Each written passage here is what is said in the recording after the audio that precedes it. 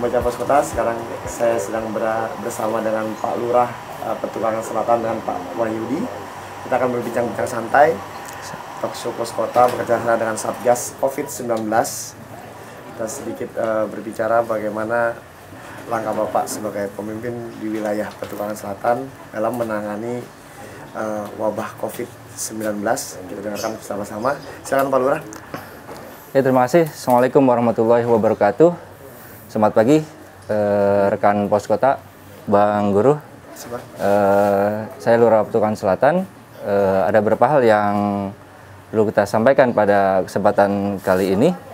Yang pertama adalah jumlah kasus. Ya. Jumlah kasus total Petukan Selatan dari awal yaitu sekitar 207. Dari Lumayan cukup Maret. tinggi. Ya, dari Maret 207 dengan kesembuhan 151 orang.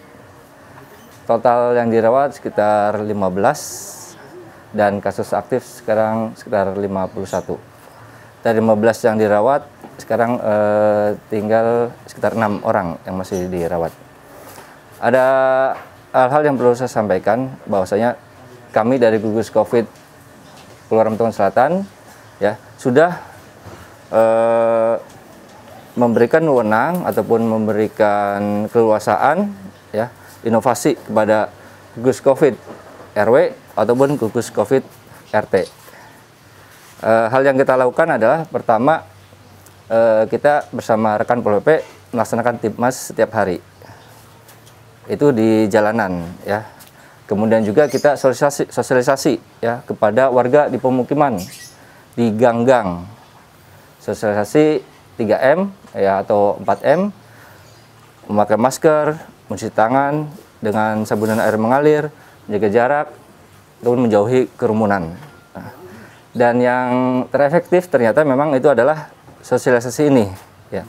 Karena kita langsung ke warga, ke pemukiman, ke gang-gang yang sempit, ya.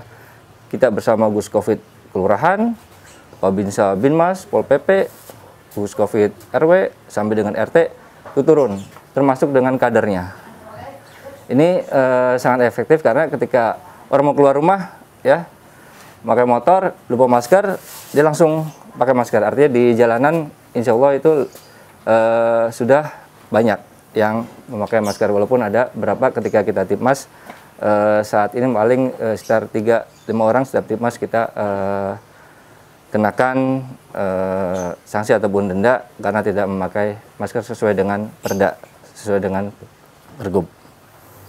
Sejauh ini Pak, sebagai kita tahu bahwa uh, eh, RT adalah uh, garda terdepan untuk dalam membangun kesadaran masyarakat terhadap 3M. Bagaimana Pak koordinasi antara lurah dengan uh, pengurus RT dan RW di wilayah Bapak? Oke, terima kasih. Jadi uh, kita melakukan evaluasi ya. Baik dari tingkat kota ya Pak Wali juga melakukan evaluasi setiap minggu ya satu minggu sekali dan kita juga di jajaran COVID uh, kelurahan sama RW juga evaluasi juga ya setiap minggu. Di mana kita uh, dalam evaluasi itu uh, kita mapping lagi ya.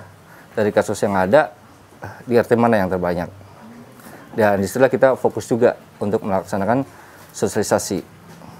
Dan juga uh, memberikan support juga kepada Gus Covid RW ya. Ketika ada yang terkena uh, apakah warga itu layak dan mampu untuk mengisolasi sendiri di rumah ataukah harus kita uh, rujuk. Uh, ini sekarang sudah otomatis ya gugus COVID RW ataupun RT sudah otomatis. Ketika ada kasus yang dilaksanakan oleh gugus COVID RW adalah rujukan. Yang positif itu kita rujuk. Kemudian keluarganya itu sudah otomatis uh, gugus RW langsung uh, bermohon untuk swab keluarganya. Dan juga gugus RW Eh, sekarang sudah memiliki untuk alat semprot desinfektan di setiap ada kasus gugus, gugus RW ataupun gugus RT itu langsung desinfektan sekitar itu.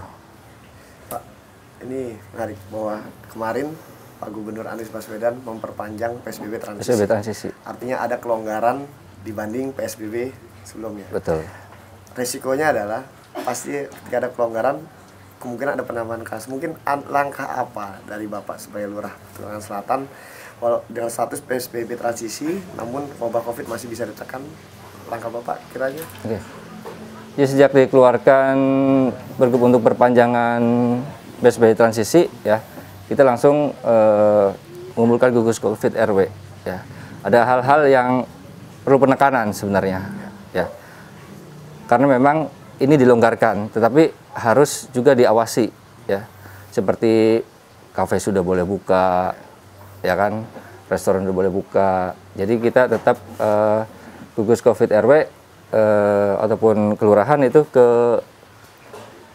ke kafe ya ke restoran ya kita tetap kan diberi kewenangan ya oleh pemprov untuk mengawasi ini dengan pol pp itu kemudian di dalam juga nih sebentar lagi kita kan eh, libur panjang ya. Dan warga saya yakin ada niat ya ataupun mereka karena sudah lama tidak liburan mungkin banyak juga warga yang akan liburan di libur panjang ini. Eh, dari Pak Gubernur juga sudah menyampaikan menghimbau untuk tidak keluar kota. Nah Pak Wali juga sudah Pak Camat juga sudah. Dan ini kita sampaikan kepada Gus Covid RW ya untuk warganya masyarakatnya untuk tidak berlibur keluar kota ya untuk mencegah jangan sampai eh, mereka keluar kota tiba di Jakarta menularkan lagi COVID lagi. Kita sebenarnya sudah kita tekan COVID ini eh, dan alhamdulillah sudah cukup banyak yang kita tekan ya penularannya terutama di pemukiman.